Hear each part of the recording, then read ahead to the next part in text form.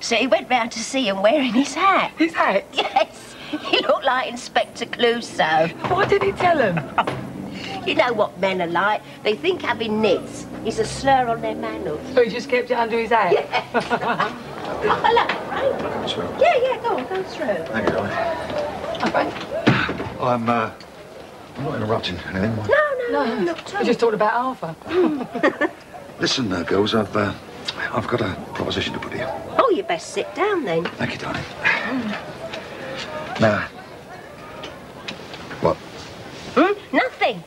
You said you had a proposition. Yeah, yeah, yeah, the calf, yeah. Well, we're still thinking about it. Yeah. You know I dropped out. Which is why you offered to take our last bid after all. So much for family. Yes, well, anyway, the way I book it is you still wouldn't be thinking about it if you thought you could afford it easily. So? Well, neither can I. Uh, that isn't since Pat started to invade Europe. So what's his proposition then? we buy it between us. Between us? Mm-hmm. You two girls put up half the money, I'll put up the other half.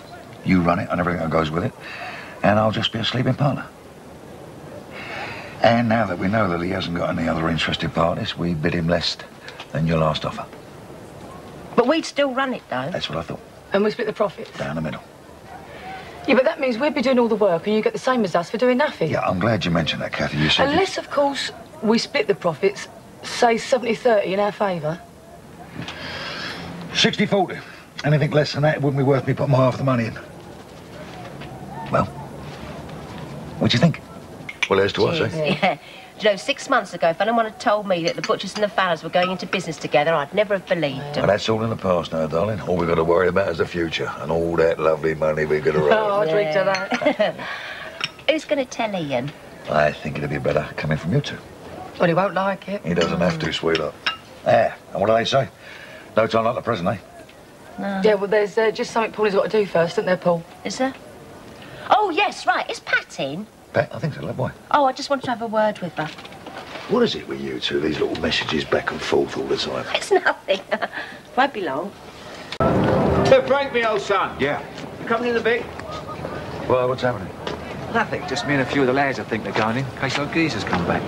Then what? We spoke to Eddie Wall. He done nothing, did he? Look what's happening in the shadow. Come on, we've got to do something about it. Go on. Yeah, what are them up to? God knows. You seen Pat? Uh, yeah. Frank! Yeah. Pat says, can you pop home if you've got a minute? Right, oh, now what? Ian. After you. Look, I'm sorry, mate. I'm not interested. Look, I've had your quite. If you haven't allowed enough materials, then that's your problem. It's nothing to do with me, all right? All I'm interested in is you finishing by the completion date at the agreed price, all right? Thank you very much. Bye. Hey, my love, I'll take your pee, please. Thanks very much.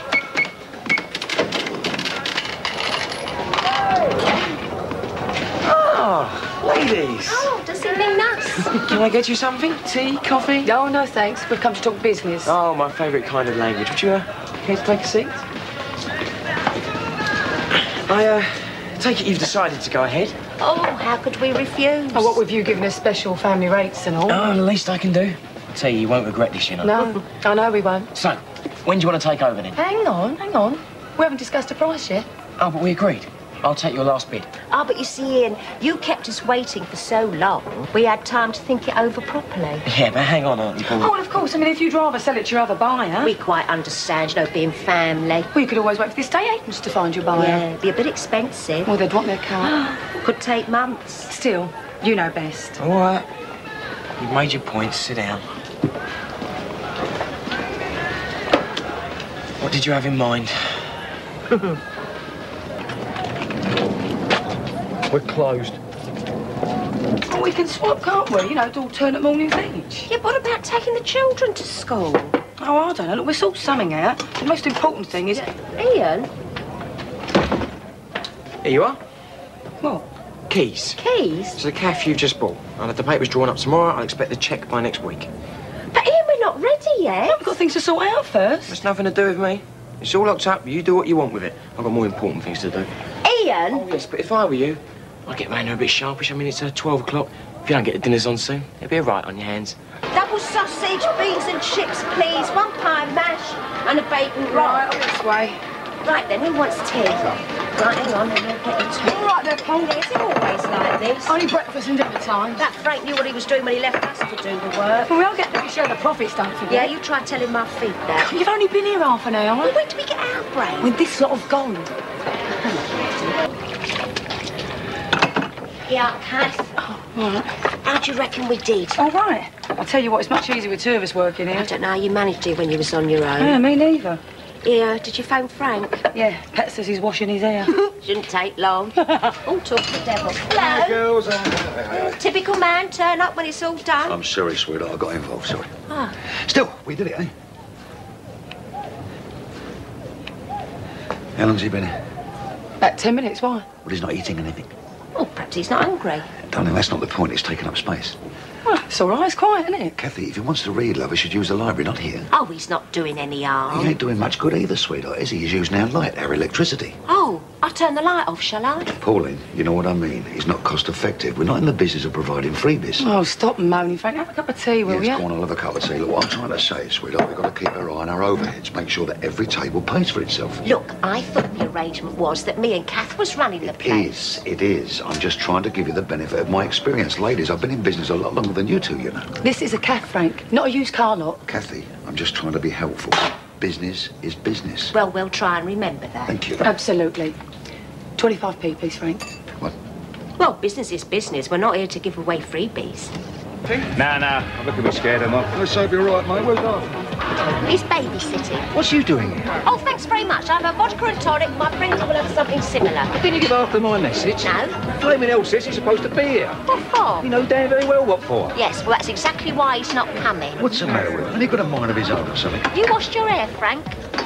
Where's that brand? You two can't stay here. Why not? With all you lovely butch men here to protect us? Oh. Right, Pete? Oh, you decided to come then? Yeah. You on your own? Yeah, I'm on my own. Same again.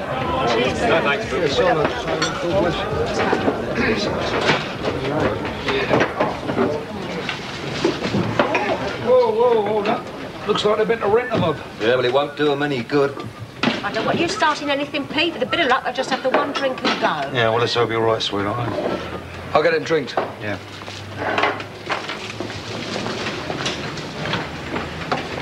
I'll have two large vodkas and a tonic. A pint of lager. All right, Phil. You're right. I'm fine. Look, Grant, you shouldn't be here. So go and get the landlord. He can chuck me out. Paras.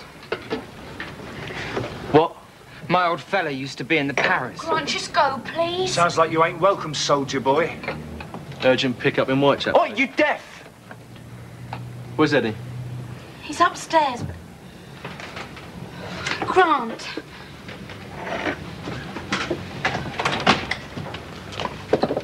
Are you just going to let him go up there? It'll be all right.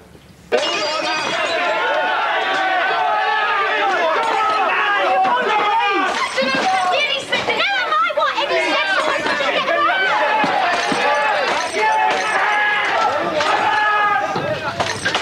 Eddie!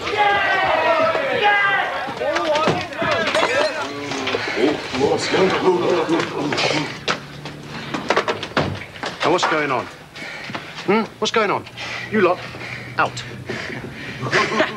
Looks like you better pick a side, soldier boy. Come on! Now, that's enough. Now, if you've got any sense, you'll put that down and get out. No chance. I've just phoned the police. I hope you haven't got a history, sonny boy. Because if you have, you'll go down just for holding that. Don't listen to him. They haven't phoned anyone. Put it down now. Get stuffed! Come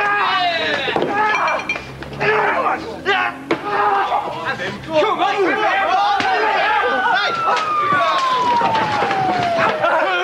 Through the brick!